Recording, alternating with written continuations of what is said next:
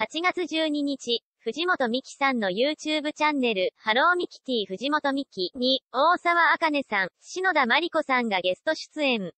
篠田さんがこれまでの世間のイメージを覆す本音を漏らし、ネット上では絶賛の声が上がりました。今回の動画では、視聴者からの質問を募集し、藤本さん、大沢さん、篠田さんが答えていく企画を行いました。3人が普段、どのようなメッセージを送り合っているのかを明かす場面では、藤本さんが、すっげー占い送ってくんだよ、今度行こう。一緒に行こう、って、と、篠田さんと大沢さんの占い好きを告白。まる、篠田さんは、占いで、こっち行け、って言われたらこっち行っちゃう、と、笑いながら占いの虜であることを明かします。藤本さんは、単純かよと突っ込みながら、お茶する勢いでさ、占い行く、みたいな。こっちよ、すごいのと篠田さんを指さし、和気あいあいと盛り上がります。3件も占いをはしごしたことを暴露された篠田さんは、悩みがあるんですよ。いろいろと思ってるんだけど、言葉でうまく伝えられない、と、占い師が自分の心の気持ちを整理してくれると語ります。まる、つい占いに頼ってしまう篠田さんに、大沢さんは、もう占い禁止令だそうと冗談を交え、笑いを誘いました。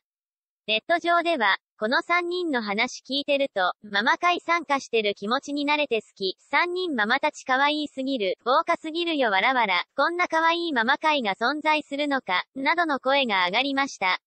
篠田真理子、真理子様、イメージ覆す本性明らかに不安になったりする。その後、視聴者から不安症で小さなことでも不安になってしまいます。それが体調不良につながってしまい毎日が来です。との相談が寄せられます。この相談に篠田さんは、私も不安抱えてしまうタイプ。でも最近気づいたんだけど、怒ってもない不安って考えることが無駄だなって思った、と、ジムの先生からの助言を披露。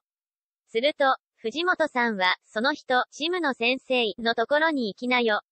占いやめてさとツッコミを入れ、笑いを誘います。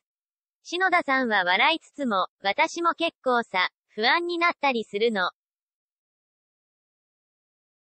怒ってはないけど、想像が膨らみすぎちゃって、と、悩み出すと止まらないタイプだと語ります。しかし、ジムの先生から、現実を考えた方がいいですよ。そのアドバイスをもらったそうで、思考を変えた方が自分が楽になるんだなっていうことに気づいたの、と、新しい発見があったと明かす篠田さん。